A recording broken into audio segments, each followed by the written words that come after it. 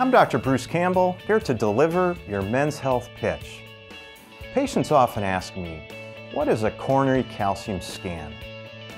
It's a CAT scan of the heart which measures the amount of calcified plaque in your coronary arteries. The higher the score, the more extensive the plaque and the greater the risk of a heart attack in the future. A high score doesn't mean you're going to have a heart attack, but it does offer you the opportunity to make some heart-healthy changes to your lifestyle to reduce your chances of having a problem later on. The study usually takes only 10 to 15 minutes to complete and no dye is given. The amount of radiation you're exposed to is generally considered safe, about the same amount you're naturally exposed to in a year.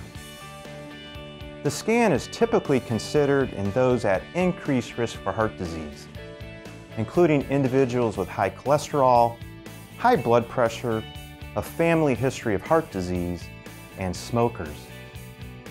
And remember, you can reduce your chances of heart disease with a low saturated fat diet, daily physical activity, and avoidance of smoking.